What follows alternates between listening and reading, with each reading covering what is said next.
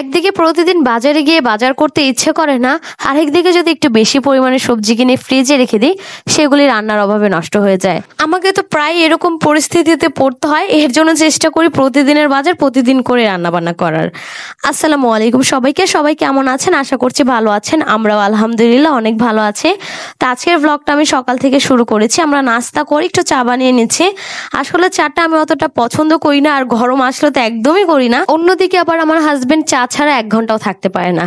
তো আজকের চাটা আমি বানিয়ে দিচ্ছি। সে তো সবসময় বানিয়ে খায়, আমি খুবই কম বানাই। কারণ যেহেতু আমি খাই না, এর জন্য আমি বানাইও না, যেটা সত্যি কথা। তো এখানে আমি চায়ের লিকার দিয়ে, চিনি দিয়ে ফুটিয়ে, তারপরে এর মধ্যে সব কিছু দেওয়ার পরে দুধটা আমি শেষে দিলাম। দিয়ে আরেকটু ফুটিয়ে নিয়ে চাটা নামিয়ে নেব। আসলে কি আমার চাটা অতটা ভালো লাগে না, একটু দুধ চা হলে খাই। সেটা আবার যদি অরিজিনাল গরুর দুধের হয়, তাহলে সেটাই খাওয়া হয়। আর এরকম বাসায় বানানো গরু দুধের চা একদমই ভালো লাগে না, যেটা সত্যি কথা।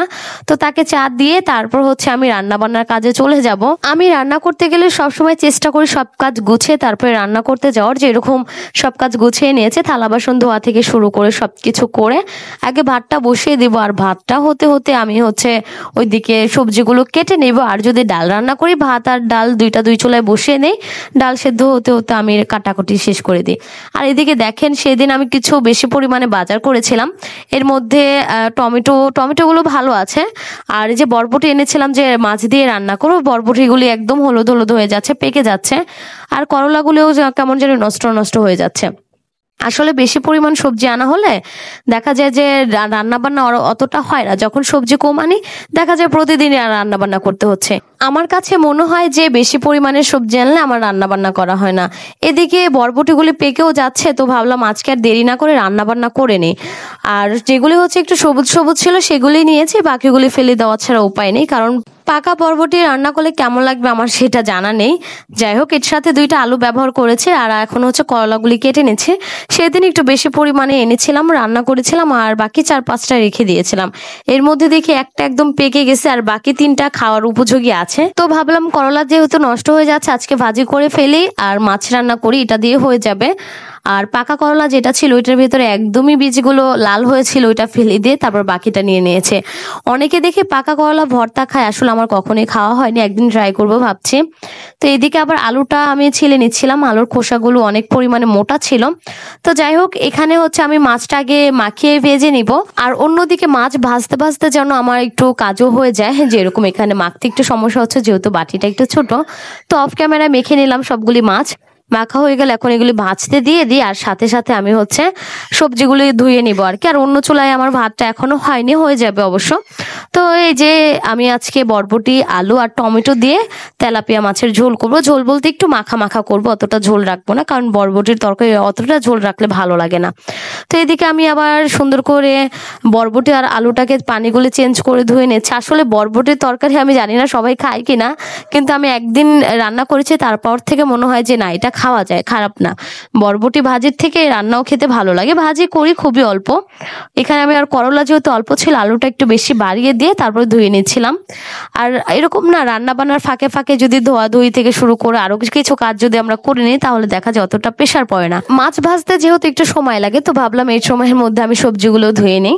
আর এইদিকে হচ্ছে মাছগুলো একটু উল্টে পাল্টে দিচ্ছিলাম, ভাজা হয়ে গেছে, অতটা কড়া করব না। কারণ আমার কাছে না যে কোনো মাছই অতটা কড়া করে ভাজলে ভালো লাগে না, একটু শক্ত শক্ত শক্ত লাগে। মাছ ভাজা হয়ে গেলে আরও কিছু তেল অ্যাড করে তারপর অন্য একটা কড়াই আমি রান্নাটা বসিয়ে দিলাম। একটু পেঁয়াজ ভেজে নিচ্ছে। আরেক চুলায় আমি একটু কড়াই বসিয়ে দিয়েছি। কড়াই বলতে ছোট্ট একটা তাওয়া মানে পাতলা একটা তাওয়া। এটার মধ্যে কয়লা ভাজিটা করে নেব আর এইদিকে আমি মশলা কষিয়ে নেব। তাহলে দেখা যাবে দুইটাই রান্না হয়ে যাবে আর সময় অতটা লাগবে না। যদি তরকারি রান্নার পরে করলা ভাজি বসাতাম। আর করলা ভাজি তো একটু নাড়ার উপরে রাখতে হয়, দেখা যেত অনেকটা সময় চলে যেত। তো এদিকে আমি হলুদের গুঁড়ো, মরিচের গুঁড়ো, ধনিয়া গুঁড়ো আর লবণ, আদা, রসুন বাটা এক চামচ, দিয়ে একটু পানি দিয়ে কষিয়ে নেব। আর একটু অল্প মশলা আজকে রান্না করছি, আজকে না কয়েকদিন ধরেই। বেশি মশলা দিলে গরমের মধ্যে না খাওয়া যায় না, একদমই বাজে লাগে। আর অন্য চুলায় আমি করলা ভাজিটা বসিয়ে দিয়েছি, ওইটা আমি নাড়ার উপরে রাখছি, আর এইদিকে মশলাও কষানো প্রায় হয়ে গেছে, দেখতে পাচ্ছেন। তো এখন এর মধ্যে আমি বরবটি, আলুটা দিয়ে দিব, একটু নেড়ে ছেড়ে আমি এখানে টমেটোটাও দিয়ে দেবো। টমেটোটা একটু গলে গেলে ভালো লাগবে, আবার অনেক সময় পরে দিই। এটা যার যার ইচ্ছা আর কি, আর একটু আলুর পরিমাণটা কম দিয়েছে, যেহেতু আমাদের মেম্বার কম। তো যেহেতু তরকারি রাঁধছি, এটা রান্না করলে এক পদই হয়ে যেত, আবার করলা যেহেতু নষ্ট হয়ে যাচ্ছে, এর জন্য করলা ভাজিটাও করে নিলাম। অতিরিক্ত রান্না করলে আবার আমাদের চলে যায় আর কি মানে থাকে না, আমার হাজবেন্ড আবার একটু তরকারি বেশি পরিমাণে খায়। দেখা যায় দুই তিন পদ রান্না করলে সে আবার এমনি এমনি খায়, তার নাকি ভালো লাগে। আমি আবার এমনি এমনি তরকারি খেতে পারি না মানে আমার যতটুকু ভাতের সাথে হবে ততটুকুই আমি খাই। এর বেশি খেতে গেলে আমার কাছে ভালো লাগে না আর কি, ওই যে যার যে এরকম পছন্দ আর কি। তো এদিকে কিন্তু আমি একটু পানি দিয়ে সেদ্ধ করে নিয়েছিলাম বরবটি, আলু আর টমেটোটাকে, দেখতে পাচ্ছেন টমেটোটা কিন্তু অনেকটাই গলে গেছে। এখন আমি এর মধ্যে মাছগুলো অ্যাড করে দিব। মাছ অ্যাড করে আরেকটু নেড়েছে এর মধ্যে ঝোলের জন্য পানি দিয়ে দিব। অন্যদিকে আমার করলা ভাজিটাও হয়ে গেছে। একদম পোড়া পোড়া করে ভাজি করে নিয়েছিলাম। আমরা ঢাকায় যারা থাকি, তারা কিন্তু এরকম দুপুরে রান্না বান্না করে একদম রাত পর্যন্ত খাই, যেরকম আমরা। যদি তরকারি থাকে, সেটা সকালেও খাওয়া হয় অবশ্য। কারণ দেখা যায় মানে প্রতি অক্তে এসে রান্না বান্না করার সময় সুযোগ হয়ে ওঠে না। তো এদিকে আমি একটু ঝোল দিয়ে, ঝোলের পানিটা যখন শুকিয়ে আসবে, মাখা মাখা হবে, একটু জিরা গুঁড়ো দিয়ে তারপর তরকারিটা নামিয়ে নেব। আর একটা ছোট বলে ঢেলে নিচ্ছিলাম এত বড় কড়াইতে রাখব না। আমি আসলে কড়াইতে শুধু রান্না বান্না করি আর এরকম স্টিলের বলে ঢেলে রেখে দিই যেন মানে পরে গরম করতে সুবিধা হয়, যেহেতু গরমকাল চলছে। গরম তো করা লাগবে, না হয় আবার নষ্ট হয়ে যায়। তো আমি আবার দুপুরে খাবার দাবার জন্য নিয়ে নিচ্ছি আমি একাই খাব এখন, ওর বাবা নাকি পরে খাবে।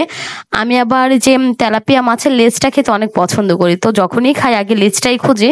তো লেজটাই খুঁজতে খুঁজতে দেখি নিচে পড়েছিল, ওইটাই নিয়ে নিলাম। যাই হোক ভিডিওটা এখানে শেষ করব। যারা যারা দেখেছেন সবাইকে অসংখ্য ধন্যবাদ।